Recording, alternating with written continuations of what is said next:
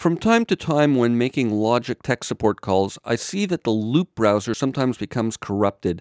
The Apple Loops index is corrupted and beats or loops can't be found, or they're not all showing up in the library here. So what you need to do is re-index them, and this is a two-step process. The first step involves deleting the old indexes, and the second step is re-indexing them.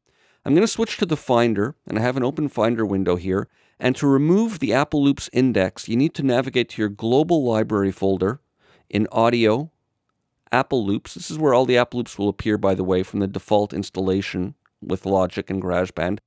But you go to the Apple Loops index folder and delete those. I'm not going to delete mine now because my index isn't corrupted and I don't want to rebuild it. But you select those and delete it. And to make sure, check the same directory in your user folder. So users, and then you go to your user library folder, audio, same thing, your Apple Loops, you'll have your custom Apple Loops in there if you do have any, and custom Apple Loops index. I currently don't have any right now, but trash them if they're in there. So once this is trashed, Logic will show you that there are no Apple Loops available in the Loop browser.